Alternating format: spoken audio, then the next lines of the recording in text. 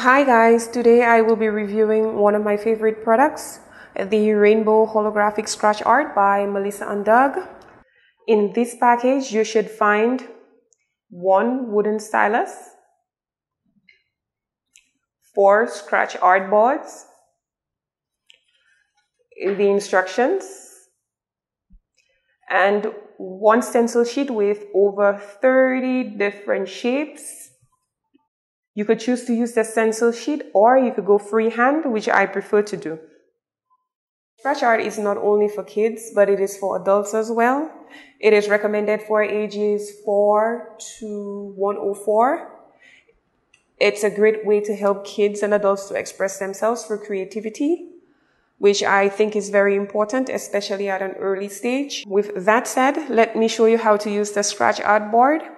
I will be using this stylus and this board.